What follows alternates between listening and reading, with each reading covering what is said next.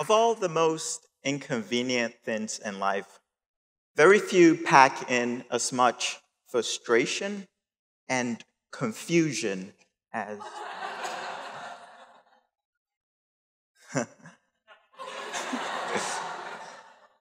very few pack in as much frustration as a power outage.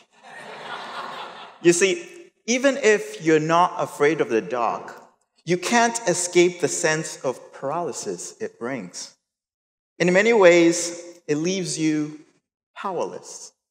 An experience perfectly summed up with a single word dumsor. Dumsor is a common expression used in my native country of Ghana. And it, it's, it's, it's an expression which is used to encapsulate the anger and frustrations power outages brings. You see, in 2015 alone, Ghana experienced an incredible 159 days worth of power outages. To put that into perspective, that means almost half a million babies were born in darkness. This, of course, is a far cry from what we experience here in America, where most of us take electricity for granted. But while electricity lights up our lives, it is simultaneously casting a shadow over that of our planet. Our insatiable appetite for electricity, be it to power our homes, our phones, our computers, this energy gluttony is what's keeping coal power plants alive today. And coal, as we all know, is anything but environmentally friendly. Our best antidote against this is to use less electricity. And the good news is we are. Light bulbs today consume far less energy than they've ever before. And as people, we're increasingly becoming energy conscious too. Quick show of hands. How many of us in here at any point today checked that little battery icon on our phones? Don't be shy. How many of you are doing it right now? You see, we're all guilty of this because we've all become conscious of how our phones use energy. And as an energy geek, that really excites me. Because think about it.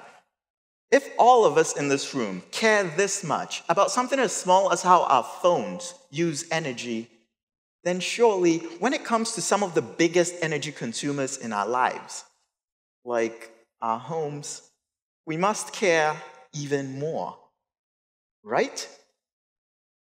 About 2,252 times more to be exact. That is, on average, how much more energy per year your home uses compared to the phone in your pocket right now.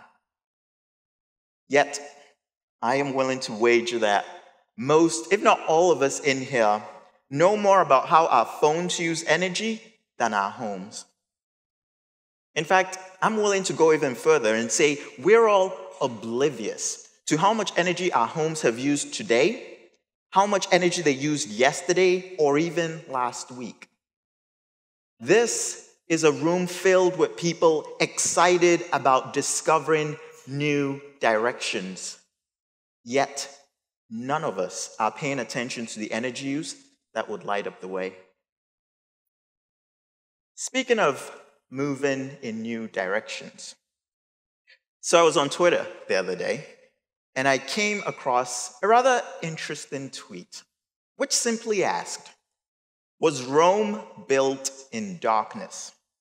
Hashtag Dumsor stop. The sentiment is pretty clear.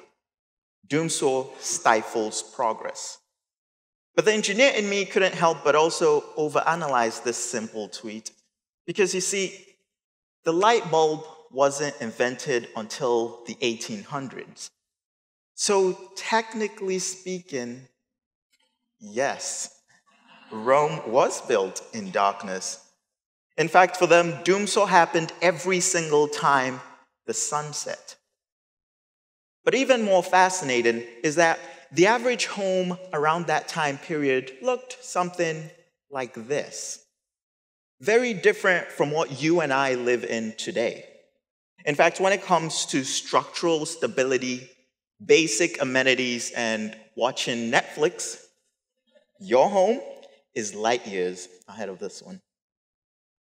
Yet, when it comes to intelligence, the ability to make sense of the world around them and the people living within, well, you might as well pack your bags and move into this. Because just like this house, your home and millions of homes across America cannot think for themselves. Because of this, we live in homes which keep the lights on in empty rooms, and homes which continue to warm and cool our living spaces even when no one is at home. Our homes today waste so much energy because you and I can't be bothered to pay attention, and our homes can't do anything about it because they cannot think for themselves. Or at least they haven't ever before. But what if they could? Imagine your bedroom waking you up at just the right time in your sleep cycle. As you crawl out of bed, the lights automatically adjust to complement the natural light coming in. All around your home, sensors monitor your vital signs, proactively adjusting indoor temperature and air quality to suit your needs while shutting down appliances and services not in use to conserve energy. This is but a snapshot of a smart home experience, one where your home takes care of you and also cares about its own energy use. I work to realize such a future, and I do it by giving your home the ability to think and learn for itself. But how do you take a dumb home like yours and teach it and teach it new tricks? Most of us in here have uttered the words, hey Google, or hey Alexa, or even hey Siri, and asked it for the weather or to make it bark like a dog. I've done that. you see, I take the same class of algorithms, which makes that possible, and I use it to teach your home how to use energy more efficiently. The only difference is unlike Google or Alexa, which pays attention to what you have to say, the algorithms I write pay attention to what your home has to say. Because you see, although your home might be dumb, it doesn't mean it has nothing to say. Quite the opposite. It has a lot to say. This, for example, is the voice of your fridge. And this, the voice of your laundry machine. To you and I, these are nothing but a bunch of squiggly lines on a screen. But to the algorithms I write, these same voices whisper stories of our most innate energy habits. They're essentially a bunch of high tech snitches which tell on us. And if we listen close enough, we can start to find trends and patterns and correlations within these voices and use that to unlock our energy secrets. Secrets like our favorite temperature preferences, our laundry routines, even our cooking habits. Using these insights, we can now start forming rather accurate and compelling narratives of our energy use. Narratives which we can now refashion in energy conscious ways. But what happens when technology knows more about us than we do? Especially this idea of our homes learning things about us that we don't actively choose to share. Are we all ready for a future where everything in our home talks back at us? From our kids to our spouse to now our toaster? Bringing such an invasive technology into an intimate space like our homes is understandably a little creepy. And we have every reason to be cautious.